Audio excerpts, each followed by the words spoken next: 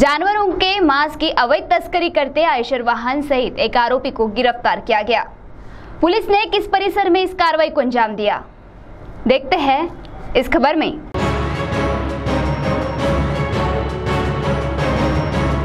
बलारपुर में अवैध रूप से पशुओं का मांस तेलंगाना ले जाते हुए बलारपुर पुलिस ने एक वाहन सहित 18 लाख रुपए का माल जब्त कर एक आरोपी को गिरफ़्तार किया है।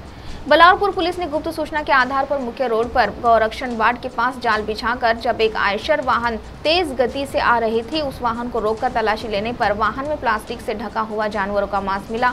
उक्त वाहन का पंचनामा किया गया, जिसमें लगभग आठ लाख रुपए मूल्य का मांस बरामद हुआ। साथ ही आयशर वाहन क्रमांक एम एच चालीस ए के अड़तालीस तिहत्तर की कीमत दस लाख रुपए लगाई गई। इस प्रकार कुल सामान की कीमत अठारह लाख रुपए लगाकर वाहन जब्त किया है। वाहन चालक फरार हुआ तथा एक आरोपी मोहम्मद इमरान, मोहम्मद इरशाद, उम्र तीस, निवासी कोयला ताल कामठी जिला नागपुर को गिरफ़्तार करने में पुलिस को सफलता मिली है।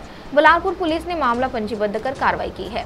उक्त कार्रवाई पुलिस अधीक्षक मोमका सुदर्शन, अपर पुलिस अधीक्षक रीना चंदबंधु इनके मार्गदर्शन में पुलिस निरीक्षक आसिफ राजा शेख के कुशल नेतृत्व में सहायक पुलिस निरीक्षक दीपक कांकरेडवार, पुलिस उप निरीक्षक विक्की लोखंडे उप निरीक्षक Bhaskar Kundawar ASI Gajanan Doiphode, head constable Ranvijay Singh Thakur, Vashishth Rangari Shekhar Madhankar, Lakhan Jadhav, Ganesh Puratkar, Rahul Ghudse आदि पुलिस टीम ने की है। सीटीवी के लिए प्रतिनिधि कृष्णा कुमार की रिपोर्ट।